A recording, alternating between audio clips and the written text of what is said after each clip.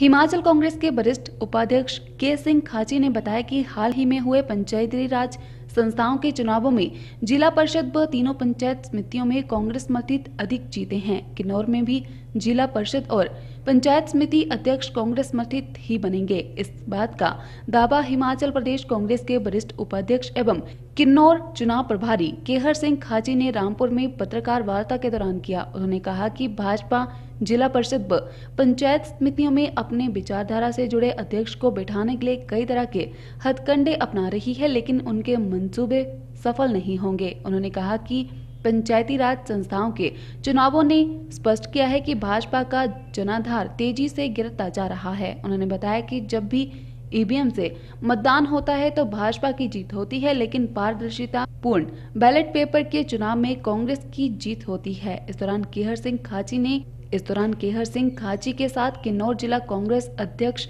उमेश नेगी भी मौजूद रहे। देखो जहाँ तक मेरे पास इंफॉर्मेशन आई है किन्नौर में वैसे तो जाकर पता चलेगा। मगर पार्टी के कार्यकर्ता और उमेश जी, जो जिला कांग्रेस कमेटी के हमारे अध्यक्ष हैं, जो इन्फॉर्मेशन आई है तो हम ये समझते हैं कि 80 परसेंट अस्सी प्रतिशत हमारे वहाँ पर चुन कर आए हैं और 80 प्रतिशत पंचायत समिति के सदस्य भी आए हैं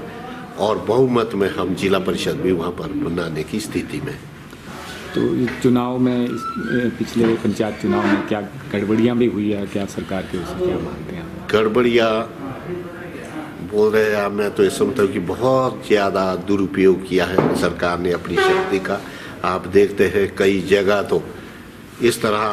धांधलियाँ हुई है कि वहाँ की जितनी भी टीम चुनाव कराने आई थी, सरकारी कर्मचारियों की, उन्हें निलंबित करना पड़ा और उसके विपरीत उन जो भी वहाँ पर बैलेट पेपर के जो बॉक्सेस थे, उसको सील किया गया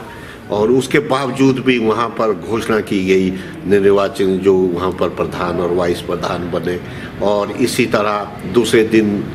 पंचायत समिति, जिला परिषद के और दोबारा चुनाव कराने पड़े, इससे बड़ी धांधली और क्या हो सकती है?